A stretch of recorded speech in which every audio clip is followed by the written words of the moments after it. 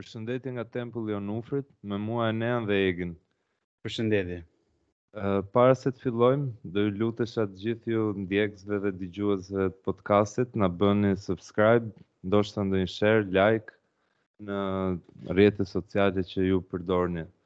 Ë uh, pas një ë uh, uh, jo shkëputje, por uh, trajtimi të temave të artit botëror, rilindjes italiane, filozofisë, estetikës, artit, uh, rikthehemi prapë me artin shqiptar.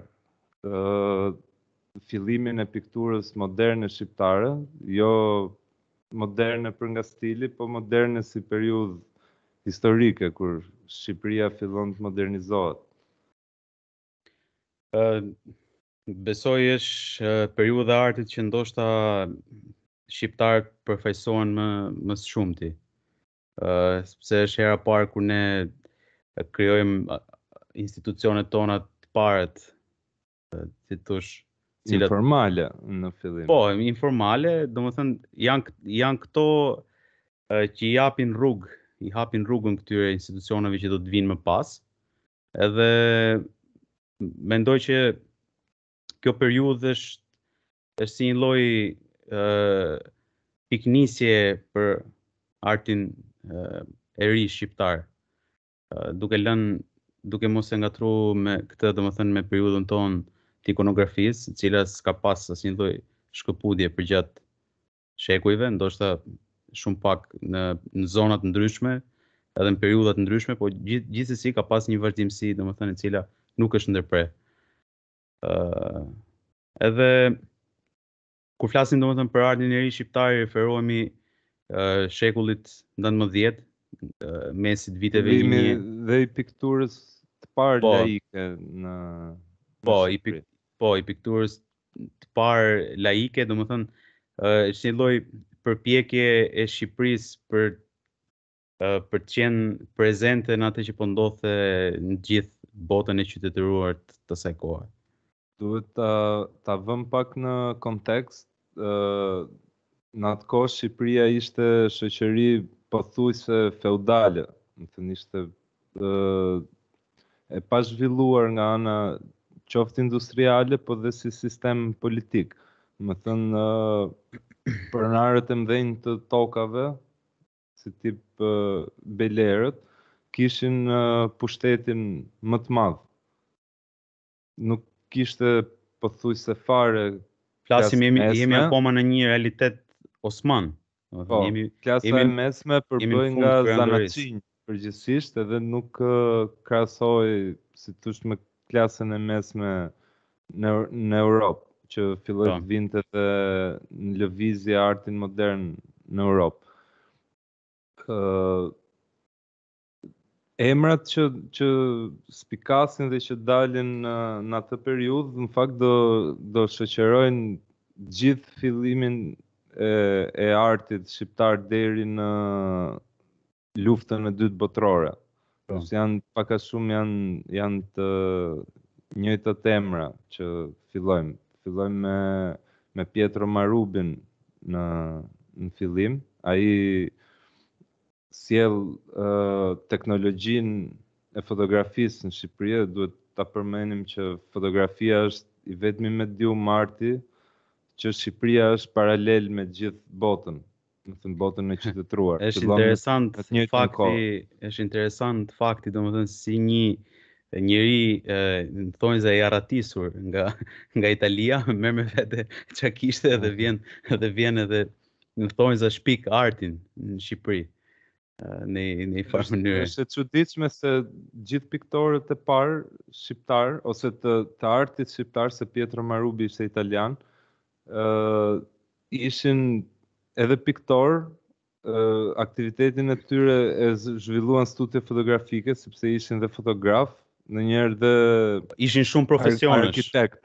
Po, Kol Idromeno ishte dhe arkitekt, për shembull ka projektu disa rrugë dhe lagje në Shkodër. Uh, urbanist, uh, shumë, shumë profesionesh, mund të thuash, shumë multizanatçi. po që piktura fillon me, me gjininë e portretit, si fillim, nuk, nuk është... nuk ka kompozime të mëdha.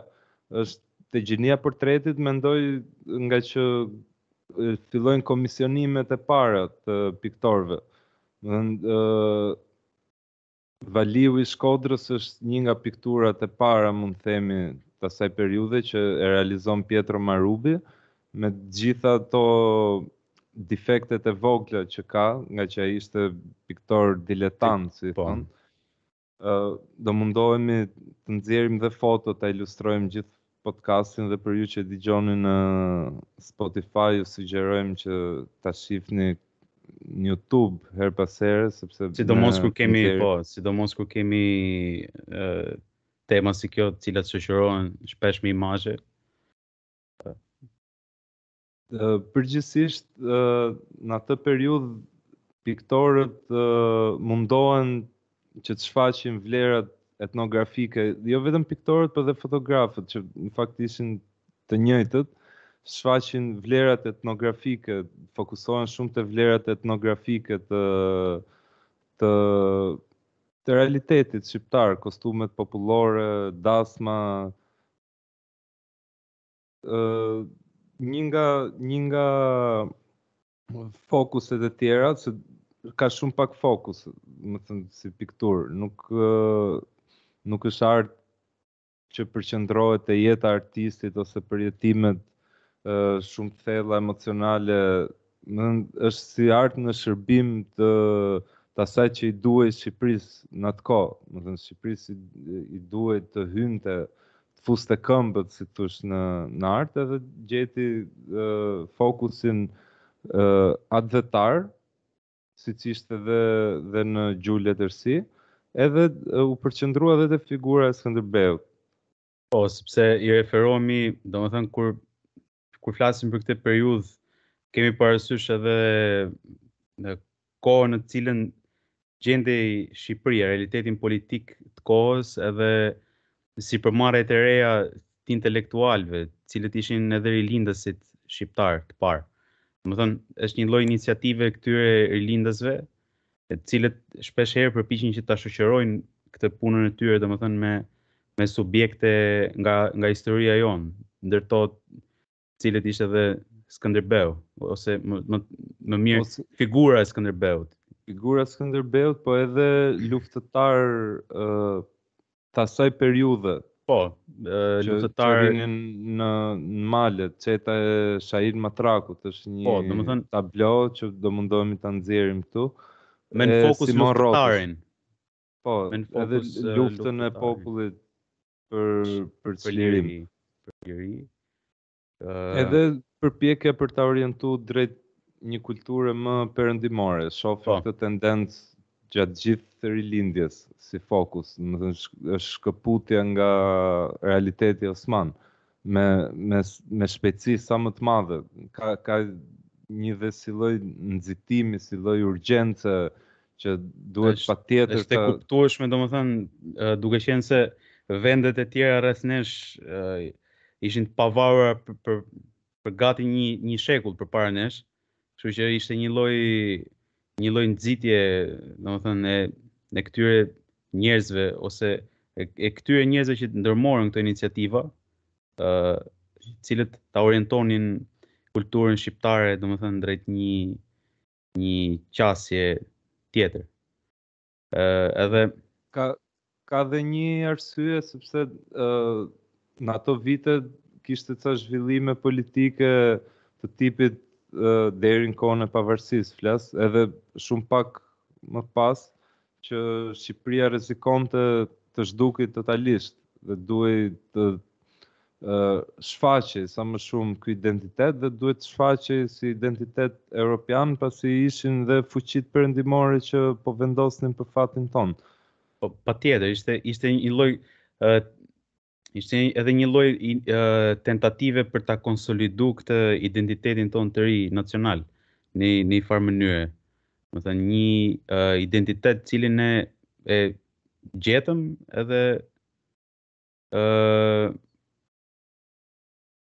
jo e gjetëm, por që e, e kishim edhe e, e përfunduam në një farë mënyre uh, në fund uh, të këtij uh, shekullit. për të cilin po flasim. Gjithsesi duket duket pak si si realitet i zymtë, në fakt kur kur shikon materialet edhe veprat, shef një realitet goxha të pasur krahasuar me me sot. Për shembull, kishte 45 revista kryesisht ishin të gjitha me përmbajtje kulturore, më shumë po, sesa politike. Domethënë pjesa më e madhe ishin shkrimet e rilindasve, një lloj reklamimi për talentet e reja, artistët e rinj shqiptarë, në si realitet nuk ka pas institucione dhe formalitet, po ka pas uh, goxha aktivitet, në si si periudhë. Po. Sponsorizohej dhe nga nga qarqet patriotike, si të thuash gjithë kjo si lëvizje dhe artistët dhe komisionoheshin për punët për shembull që ishin me me nota patriotike, sponsorizoheshin nga qarqet patriotike. Pastaj kemi seri të tëra me portrete që janë thjesht komisionime nga shtresa e pasur e, e qytetit. Kryesisht po. në Shkodër dhe në Korçë. Po, janë këto dy dy qendra që doja doja edhe unë t'i përmend. Janë këto dy qendrat në të cilat zhvillohet e gjithë e gjithë kjo ë gjithë kjo forma e re e, e të bërit art si piktura, si fotografia në realitetin shqiptar. Qytete, qyteti i Shkodrës dhe i Korçës është një lloj ndarje midis, domethënë gjithçka lëviz midis këtyre dy poleve, veriut dhe juglindjes. Ë një gjë tjetër që ë vlen të përmendet është që në këtë kohë në veri në veri të vendit ë ishte edhe kisha katolike e cila po bënte atë që s'kishte pasur kurrë mundësi ta bënte më herët. Domethënë tani kishte edhe ajo mundësinë që të komisiononte punë, të cilat i shërbenin kishës për funksionet e veta të përditshme. ë Edhe kemi dhe kishën domethënë që fillon edhe të kërkojë ose të komisionojë punët e para. Është një është një koleksion shumë i veçantë, fakt ë uh, për mua është nga më të veçantët që kam pa ndonjëherë punë religjioze të asaj kohe, që nuk janë kanonike, por nuk ngjajnë as si arti tipik europian religjioz. Domethënë kemi uh, koleksionin mbi mëkatet, mund të themi të... Kol Idromenos. Kol Idromenos, me piktura si martesa e parregull, që komisionoheshin nga kisha për të treguar për shembull pasojat që ti ke kur bën poligami, domethënë ishin në kontekstin e, e zhdukjes mentalitetit osman lindor. që shumë raste malësorët kishin filluar prej kohës, ndoshta që po, merrnin grua të dytë të po, pacelebruar në shtëpi. Në atë realitet, domethënë politik, në të cilin ndodhej Shqipëria në kohë. Demonët edhe këto nga ferri. Po, po është është shumë interesante se shumë rrallë në pikturën religjioze shfaqet ka shumë shfaqje të demonëve ose të djallit. Po, të kujton të kujton pak pikturat e e Hieronymus Bosch ose ë po, po, ose vetëm se nuk është surrealiste. I, po, ose torturimi i Shën Antonit nga Michelangelo. Në një farë mënyrë, po. domethënë është është në të tilla në të tilla ujëra. Ë mund të shifni për shembull një punë e mbijetuar se ato janë në fakt disa janë restauruar, disa kanë humbur, disa mund të gjejmë vetëm skica përgatitore. Gjatë kësaj bisede ndërkohë do do mundohemi që fotot të jenë prezent. Po. Ë uh, është një punë te Muzeu Oso Kuka që quhet Rrugët e Jetës.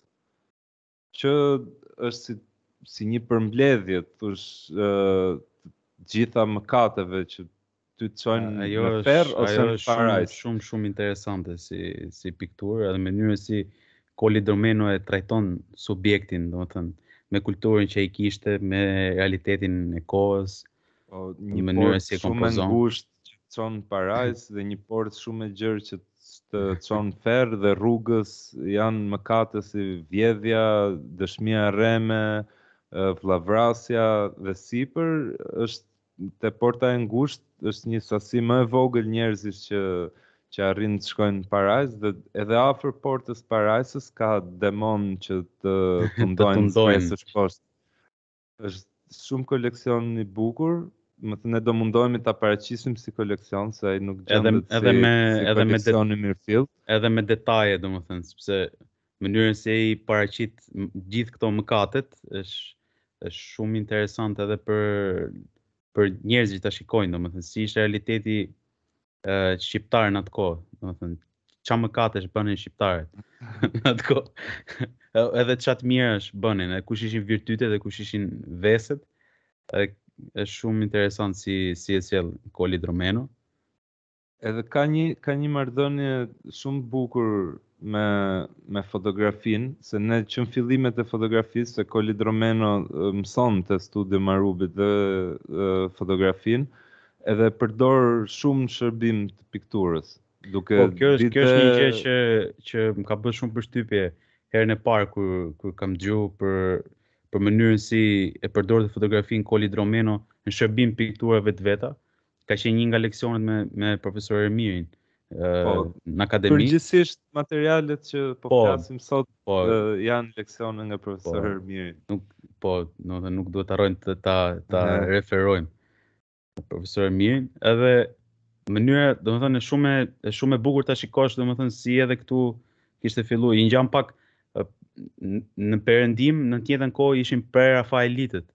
cilat e përdornin shumë fotografinë për të kompozu punët e veta, domethënë, edhe ta shikosh dhe këtë gjë në realitetin shqiptar, është, është shumë, shumë interesante. Do mundohemi t'i gjejmë ato punët përgatitore të, për shembull, Dëshmia rreme ose si si quaj kur hyn dreqi në shtëpi. Po, kur hyn dreqi në shtëpi që është në gjendje shumë të keqe sot si po, si pikturë, është pothuajse nuk është është retushuar, është retushuar në mënyrë digjitale, po uh, origjinali është në në gjendje shumë të keqe. Puna përgatitore është me me disa foto me modele meshkuj përgjithsisht, sepse nuk uh, nuk gjen dot modele me bollëk, si të thush në atë kohë, që marrin pozicionet e demon, demonëve në mënyrë dhunshme. Pastaj janë skicat, që ky nga fotografia i përkthen në skica dhe bën ato ndryshimet e e përdor fotografinë si t'thush thjesht si një referencë. Edhe në fund është dhe piktura. Po në fakt të gjithë piktorët edhe edhe në Korçë, vëllezërit Zengo ishin edhe fotografë. I, ishte si t'thush e, e kohës. Fotografia si... është një nga zhanret që paktën te ne ka ardh ka ardh një lloj, domethënë si siç është përhap në gjithë vendet e tjera, siç është adaptu nga të gjithë vendet e tjera, domethënë si si zhanër në të njëjtën kohë ka ka ardhur edhe ke ne.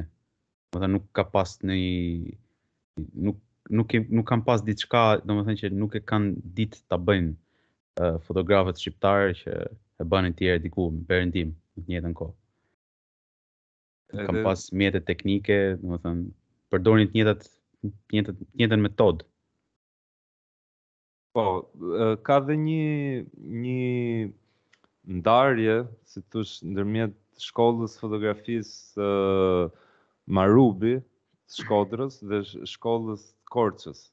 Shkolla e Korçës ka komplet tjetër Notë, nuk merret shumë me me vlerat etnografike siç merret Marubi, që ka uh, fotografi qytetarësh ose fshatarësh me veshje popullore në shumicë, jo ka dhe, vetë. Ka dhe fotografi të konsujve francezë, italianë me, me veshjet popullore shqiptare. Po, uh, ndërkohë në Korçë kemi uh, fotografi femrës në momente intime, që është shumë më, më amerikane, si të thush në atë kohë, ose franceze, deri diku. Po. Komplet tjetër qasje ndaj fotografisë. Ndoshta edhe nga, nga lidhja e hershme që korçarët kishin me, me Amerikën. Po, duke, duke deri te, po, deri te stili ose ose mënyra e të bërit të fotografisë ndoshta si si në Amerikë uh, subjektet ndoshta janë të ngjashme pas pastaj deri me Gjon Milin po deri diku është pak më i vonë po pak më i vonë domethënë po ndërtohet kështu ndërtohet kjo kjo shkolla e po fotografisë pas pavarësisë ne në shofim shofim një ndryshim Në janë po të njëjtët artistë, po arti sikur fillon të çlirohet pak nga ajo emergjenca ë për të ndërtuar si të thush kombin, ose kulturën e kombit. Kemi shfaqen dhe artistë si Vangjush Mio, që përqendrohen shumë te arti i të pikturuarit në vetvete, më te te nudoja, te peizazhi, që është Është një pikturë pak më e rafinuar, si të thush, fillon uh, ka konkurrencë më të madhe. Kthehen uh, piktorë nga akademitë më të mira të Italisë dhe vijnë në Shqipëri, Vangjush Mio për shembull. Po, ose Odise Paskali, Odise Paskali. Uh, Këto ke, në këtë kohë domethënë kemi dhe përpjekjet e para për zhvillu artin e skulpturës në Shqipëri. Në njëfarë mënyre, që pak më heret me, me Murat Toptanin, cili nuk ishte ka shumë pak punë skulptor profesionist, uh, pak në jo nivelin e Paskalit, Por edhe historia e Paskalit është është shumë shumë interesante.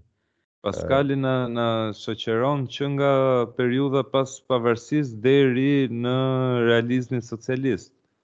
Po. Që ai nuk është prezent në në në disa periudha të historisë së artit shqiptar.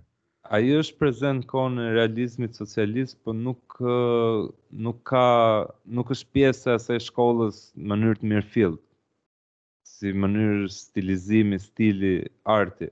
Mm. Dallon shumë skulptura e Andrea Manos, për shembull, uh, po. si mënyrë stilizimi, me flasim ushtari i panjohur i Andrea Manos në Tiranë, me luftëtarin uh, kombtar në Korçë. Po në fakt, të gjithë këta uh, artistë të kohës, të cilët studiuan nëpër akademitë uh, uh, diku në Europë, Ja, domethënë, mund të jenë kontribues për themelimin e, e realizmit socialist më vonë, po realisht ata vetë në punën e tyre, përgjatë gjithë krijimtarisë së tyre, domethënë, nuk janë, nuk janë, e, e, e, nuk janë tradicionalisht të artit të realizmit socialist. Paskali, Paskali është duhet të ishte një nga të jo të vetmit, po nga të parët artistë që duhet të kishte muzeun e tij personal në Shqipëri. Po, po shumica e punëve të Paskalit nuk gjenden, domethënë përveç punëve publike, gjenden po. shumë pak punë. Profesori jonë i ndjerë, Bembajo thoshte për Paskalin që Paskali është skulptori i kombit shqiptar. Siç italianët kanë Kanovën, ne kemi, ne kemi Paskalin edhe minimumi që duhet të kishte ishte një muze. Fatkeqësisht nuk e ka. Sot edhe nuk dim, unë nuk kam pa shumë pak punë të Paskalit kam pa, domethënë. Ëh, mund të gjesh edhe pse kam kërkuar. Punët që janë publike janë. Po, mm. punët e hershme nuk nuk para gjenden. Flas po, vetëm për monumentet po, monumentet që janë në qytetet kryesore shqiptare, po, se na ka rastis që Vlorë, po, na ka rastis që ti ose uh, ushtari i Korçës. Po. Ëm ose busti i Konstantin Kristoforidhit brenda kishës së Shën Mërisë në po, Kala, në Elbasan. Po, Topullin në po, Gjirokastër. Po, për fat të mirë kemi këto, po që nuk ishte vetëm kjo krijimtaria e Paskalit, se ai kishte dhe skulptura, të cilat ishin skulptura kavaleti, skulptura të vogla, të cilat qëndrojnë në ambientet e mbyllura. Po. Edhe ne fatkeqësisht ne ato sot nuk i kemi, edhe unë shpresoj që të jenë diku edhe me kohën me kohën të ekspozohen diku ku ne ku ne t'i shikojmë, domethënë. Po imazhin e Skënderbeut në skulpturë ai e, e gdhendi si të thuash përfundimisht i dha një si lloj vule që ë uh, Edhe skulptorët sot e kanë shumë vështirë dalin jashtë asaj jashtë atij portreti që ka përcaktu Paskali për së është, stand, është Skënderbeu i Paskalit është standardi në një farë mënyrë. Duhet ta bësh më mirë se Paskali që Skënderbeu jot të jetë i mirë. po meqë ra llafi te muzet, Vangjush Mio ka muze, dhe e ka në Korçë, mbrapa katedrales, është një muze modest, është shpia ku ai ka jetuar dhe ka pas dhe studion. Uh, është falas me kontribut, me dëshirë, me donacion. është muze mjaft interesant, se ka nudot nga periudha e, e shkollimit, po, ato... edhe peizazhe nga periudha e shkollimit. Uh, fatkeqësisht unë s'e kam vizitu akoma muzeun e Mios në Korçë, po që me vërtet ka punë shumë të mira, domethënë më ka rastis t'i shikoj këto nudot nëpër nëpër ca libra të vjetër që janë botu dikur, edhe me vërtet punë shumë shumë të mira. Mio kishte studiu, mos gaboj në Akademinë e Bukureshtit, në Rumani. Unë e di që ka, ka studiuar dhe në Itali. Ndoshta, ndoshta mund të ketë studiu dhe në Itali. Ë uh, shumë nga këta në, në këtë kohë, domethënë studiojnë nëpër këto akademitë. Po pastaj po ishte që... Janaq Paço, i cili studion në Athinë, edhe po, edhe vjen më vonë. Po, është është i më vonshëm, por që Duhet të them që është kjo, është kjo periudhë ku këta shkojnë edhe studiojnë diku. Duhet shumica e artistëve shqiptarë deri brezi kur ne e hapëm vetë atë Akademinë e Arteve, shkollën. ë kanë studiuar jashtë, se nuk kishin po. mundësitë që ti të merrje uh, arsim të lartë. Shkollën e parë të, të artit uh, zyrtarisht ne e hapim vetëm 1932-shin, mos gaboj. Shkollën e vizatimit. Po. Jemi mbretërinë, jemi mbretërinë shqiptare, domethënë në atë kohë. E duhet po, përmend ky fakt. Është institucion i arsimit të mesëm, gjithsesi. Po. Po duhet përmend ky fakt, domethënë që në kohën e kësaj mbretërie kishte pati një lloj fokus drejt këtij zhvillimit të artit, krijimit të mundësive që studentë që ishin të talentuar, domethënë të shkonin të studionin diku. Po, edhe... u hap dhe shkolla e vizatimit, Paskali me Qenan Mesaren ndërtuan shoqërinë Miqtë e Artit. Po. Dhe aty u bashkuan figura shumë të rëndësishme. Filluan të po, bëjnë ekspozita bashkë me Lasgush Poradecin. Vangjush Mion edhe të tjerë njerëz që ishin të artit të letrave. Idromeno megjithëse ishte uh, brez pak më i vjetër se, po. se Paskali. Kemi dhe Zef Kolombin në, po, Zef në këtë periudhë. Uh, Abdurrahim Buza. Po dhe ai është një brez më i ri se Idromeno. Që në e... fakt Abdurrahim Buza është është një nga piktorët me frymën më moderne si të thuash të kohës. ngjan shumë me me atë çka po ndodhte me pikturën në Europë në atë periudhë.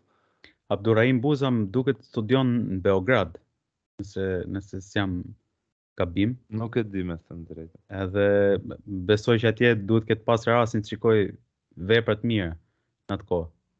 Kishte koleksione që qarkullonin edhe Është dhe shkolla e Romës që vlen të përmendet prap. Po. Zef Kolombi më duket studion në Romë. Edhe dalngadalë krijohet kjo shkolla e vizatimit e e pikturës, e skulpturës shqiptare, e cila i jep rrugë. Që fillojnë edhe me ekspozita, kanë qenë shumë aktive dhe fillojnë ekspozitat me artistët më të mirë. shqiptar, domethënë janë bërë disa ekspozita në atë periudhë, me skulptura të Paskalit, me punë nga Vangjush Mio, nga Sadik Kaceli, nga Kolë Idromeno, po, Sadik Kaceli, Martini. Gati, gati e harrum pa, pa e përmend, që ka qenë shumë i rëndësishëm edhe në zhvillimin e artit shqiptar. Po, Ndoc Martini, prapë që është, Ndoc Martini, pastaj, është fenomen, domethënë më vete. Të dimë Ndoc Martini është është është si siç venecianët kanë Giorgionen. Domethënë dihet shumë pak për këtë njeri, ka lënë ca ca vepra. Është shumë i talentuar, po që do të nxjerrim. Është dimë dimë shumë pak edhe sa mund të jem. Vdes shumë shumë herët. Po vdes i ri. Mirë, unë them që ta mbyllim këtë pjesë me po. kaq dhe do shihemi në pjesën tjetër me periudhat në vazhdim. Po. Faleminderit. Mirë, faleminderit.